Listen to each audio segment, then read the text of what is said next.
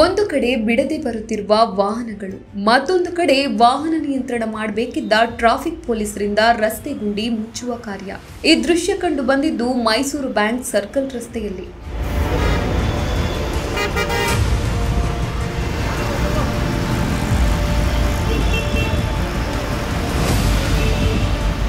Mysuru bank circle ರಸ್ತೆಯ petrol bunk ಎದುರಿನ signal ಬಳಿ ರಸ್ತೆಗಳಲ್ಲಿ ಗುಂಡಿ ಬಿದ್ದಿದ್ದು ಮೃತ್ಯು ಕೂಪದಂತಾಗಿದೆ. ಆದರೆ ಈ ಬಗ್ಗೆ ಪಾಲಿಕೆಯ ಅಧಿಕಾರಿಗಳು ಗಮನ ಹರಿಸಿಲ್ಲ. ಆದ್ರಿಂದ ರಸ್ತೆ ಮಧ್ಯೆ ಪಾಲಾದಂತೆ ಎರಡು ಅಡಿ ಗುಂಡಿ ಬಿದ್ದಿದ್ದನ್ನು ಟ್ರಾಫಿಕ್ ಪೊಲೀಸರೇ ಮುಚ್ಚುವ ಕಾರ್ಯ ಮಾಡಿದ್ದಾರೆ.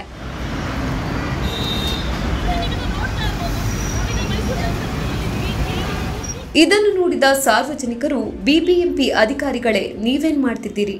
ವಾಹನಗಳ ನಿಯಂತ್ರಣ ಮಾಡಬೇಕಾದ ಪೊಲೀಸ್ ಸಿಬ್ಬಂದಿಯೇ ರಸ್ತೆ ದುರಸ್ತಿ ಮಾಡಬೇಕಾ? ನಮ್ಮ ದುಡ್ಡಲ್ಲಿ ಟ್ಯಾಕ್ಸ್ ಕಟ್ಟಿಸಿಕೊಳ್ಳೋಕೆ ಆಗತ್ತೆ, ರಸ್ತೆ ಸರಿ ಮಾಡೋಕೆ ಆಗಲ್ವಾ ಎಂದು ಪ್ರಶ್ನಿಸಿದ್ದಾರೆ. ಇನ್ನು ಟ್ರಾಫಿಕ್ ಪೊಲೀಸರು ರಸ್ತೆ ದುರಸ್ತಿ ಮಾಡ್ತಿರುವ ದೃಶ್ಯ ಸಾಮಾಜಿಕ ಜಾಲತಾಣದಲ್ಲಿ ವೈರಲ್ ಆಗಿದ್ದು ಸಾರ್ವಜನಿಕರು ಹೊಗಳಿದ್ದಾರೆ.